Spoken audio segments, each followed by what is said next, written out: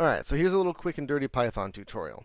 Um, so if I hit control right a few times, I'll go to the scripting layout, just like doing it that way. Here's the problem. Let's say, and this works, this is going to work in Blender internal as well as cycles. Let's say you have a texture and you have a material here and you have a series of textures on it. And one is a regular sort of clouds texture, and one is an image texture, but for some reason we don't actually assign an image to it, and another one is a for real image texture that that actually has an image assigned to it. Let's use Swampler's based code. Alright, so we have three different textures here. Now, in Blender internal, you can always see the full path for your texture no matter what. So if you move files around, your paths get jacked up, you can always see where they're going to. However, in cycles, there's no texture node, there's no texture thing, and even as far as texture nodes go, let's go to our node editor. What is my node editor? There it is.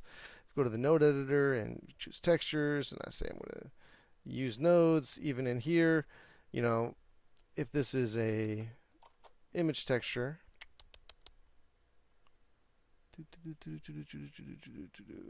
image. I load the image and I'm just reuse the base color one. The problem, even if I do that, the problem here is that there's no way to see the path here. There's no clean way of doing it, not even over here or, or any of these sort of fields. So it's it's really just kind of painful and annoying. So I'm going to switch back to Blender render because that's just what we're using here. I'm going to open up our 3D view just because I like looking at it. So going back here, we have our three different textures, and oh, I seem to have made some adjustments here. This is an image texture again. There we go. All right, so we have the path and the image texture, blah, blah, blah.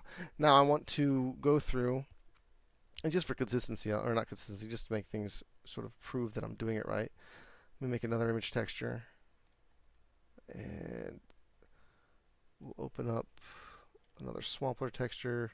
Let's say his, I don't know, diffuse map, second diffuse map. Goody.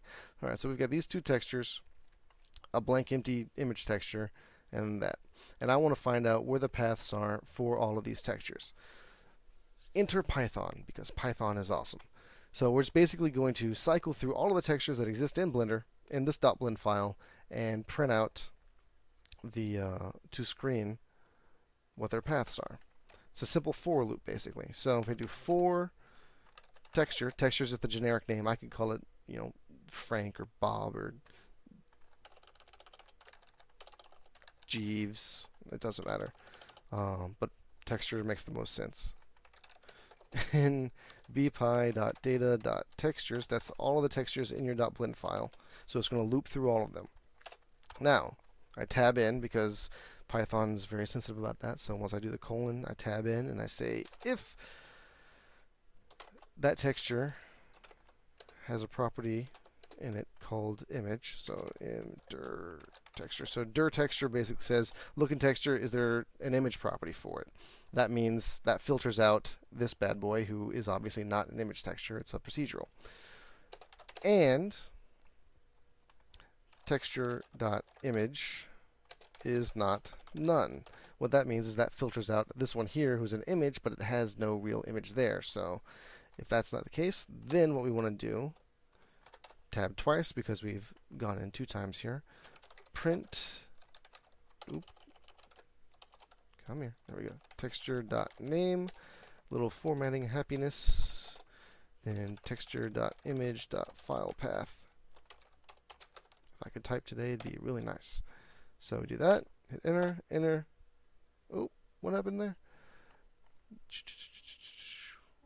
Well, the problem is for texture in bpy data dot textures down, down.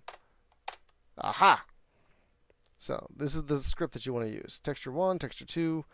That gives me our two little textures. Good to go. Um, so yeah, I had one little typo there, but basically, that's how I can list. If I had, you know, a dozen more, let's not make a dozen more, but you get the idea. image. I'll open another one. More Swampler textures. That's his ambient occlusion texture. And image. Now open another one. Oh, let's say it's normals. All right, so we got a handful of different textures here. These two bums up here that don't do anything, and, and these check marks don't matter, by the way. Um, even if I disable that one, and I run this script again, so for texture and bpydata.textures, down, down. Now I have all four textures and all the paths to all of them. And it even changes if I take this and I say, um, well, I can't do relative paths because I haven't saved this file, but that's basically how it works.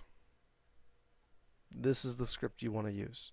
For texture and bpydata.textures, colon, tab, if, quote, image in dir texture, and texture.image is not none, tab, tab, print the texture name, a colon and a space, and then the file path for that name. Texture name, colon space, file path. Alright, that's a, a real, real quick and nasty on how to do this. Hopefully it makes some sense. If it doesn't, sorry. Uh, make a note in the comments and tell me what I did wrong.